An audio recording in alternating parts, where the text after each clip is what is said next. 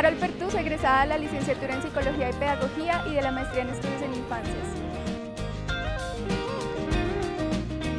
Porque favorece la homologación y la convalidación de títulos académicos y facilita la ruta de certificaciones internacionales.